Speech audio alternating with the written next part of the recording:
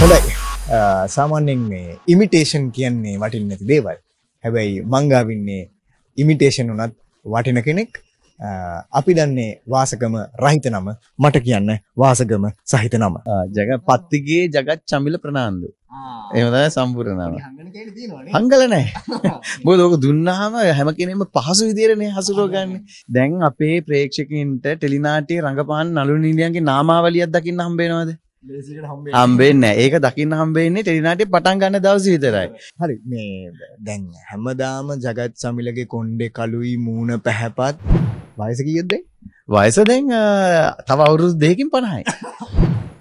ඕ ඕ ඉසි ඕ ඉති පම ඒව දිවරන්න මාව විශ්වාස කරන්න හරි මට දැන් කියන්නක ඉමිටේෂන් ගෙන මොකද කියන කියලා. ඉමිටේෂන් කරක්ට කියන ඉවිටේෂන් ති හරි අපූර හොඳ ප්‍රතිචාර දෙනම් මොකද මම මේකේ වැඩාත්ම කැමති වෙන කෑල්ල තමයි තිලිනයි අසංගසායක්කාරයි මෙන්න මේ දෙන්නගේ මේ මුහුවීම මුහුව මේ දෙන්නගේ එකතුව තමයි මේ සාර්ථකත්වයට ප්‍රධාන හේතුව. ඒකන් ඉස්සෙල්ලම මම තිලිනට සහ සහයට ගරු කරන හේතුව තමයි මේකට ඒ විෂයානුබද්ධ චරිත ටික මේකට එකතු කරගත්ත එක.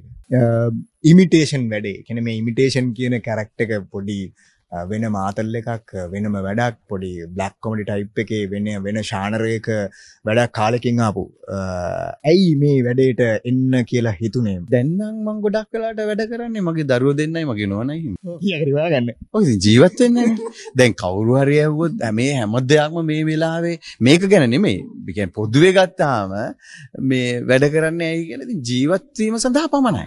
ඒ ප්‍රේක්ෂකයෝ දන්නවා ඒගොල්ලෝ මට නිරා નિરાයාසයෙන් ඒ අවසරය දීලා තියෙනවා. මට සමාව දීලා තියෙනවා. මොකද ඒගොල්ලෝ දන්නවා මම වැඩ කරන බොහෝ ඒවා වල ඒ ජගච්ඡමිල මේ කැමැත්තෙන් කරන එක නෙමෙයි. ඒ ජගච්ඡමිල ජීවත් වීම සඳහා කරන්නේ. දැන් හැමෝමලා මේ කියන ප්‍රේක්ෂකයෝ තමයි වැරදි කියලා. ප්‍රේක්ෂකයෝද වැරදි? ප්‍රේක්ෂකයෝ නෙමෙයි. අපි වැරදි. අපි වැරදි. ඇයි අපි වැරදි දේවල් කරන හින්දානේ ප්‍රේක්ෂකයෝ බලන්නේ ඉතින් ඒ වුණාට අපි කියන්නේ කොහොමද? නෑ ප්‍රේක්ෂකයෝ ඉල්ලන්නේ. දැන් ප්‍රේක්ෂකයෝ ඉල්ලනවාද මේ මෙහෙම කරන්න? දෙන්නේ. ඒකින තනිකර බොරුවක්නේ. එතකොට ප්‍රේක්ෂකයෝ දන්නවා జగච්ඡමිල කරන්නේ මේ ජීවත් වීම සඳහා. හැබැයි ප්‍රේක්ෂකයෝ ඒ වගේම දන්නවා දැන් උදාහරණයක් විදියට නංගන් විදියට කතා කරොත් ජගච්ඡමිල කරලා තියෙන අපි කිව්වම දැන් සොයන් ජාත කියන නාට්‍ය ගැන. ඊට පස්සේ වේදිකාවේ දොන් ජුවන් රයිට් පහුගිය කාලේ කරපු සංගදාසගේ චූටි කලිසම. චාමික හත්ලාවත්තගේ මේ මේ ම- මකරා. එතකොට චාලකගේ මේ මාර්ගලිදේ සවාරයක්. ඒ වගේ ඒ වගේ කරපු අපූර්ව නාට්‍ය ගොඩක් තියෙනවා.